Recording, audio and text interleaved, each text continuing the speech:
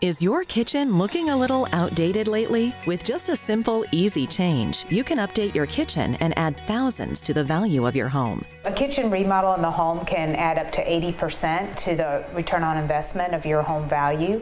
And not only does it add to the return of investment um, monetarily, but it also adds to comfort that you feel in your home. So a kitchen update does not have to be a lot of money. You can do small things like changing out your hardware, changing out the countertop, your backsplash, or you can go for a more, more full remodel, changing out your cabinets and your countertops.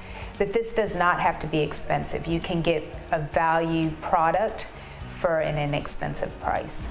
Since 1992, CNC Cabinetry has been distributing kitchen cabinets throughout the United States. With an expanded selection of finishes, they're always ready to make your kitchen dreams come true. As I was working for this um, cabinet showroom and, and I soliciting uh, property managers and builders, and they needed cabinet much quicker than was available at, at that time. Um, so I partnered up with a couple of the uh, large cabinet manufacturers um, to bring an inventory in. We bought in a couple of styles just went off from that point on. Your time is valuable, and CNC knows that. Their products are always in stock and ready to ship to you within days. So obviously very helpful in the rental business. So as renters move out, the customers want to turn their product over very quickly. So they can call us and literally in two days they can be reinstalling new cabinets and allows them to turn their properties over very quickly, which allows them to earn money fast. So our DART program started about a year and a half ago and uh, it was basically designed to get our customers their product as fast as possible.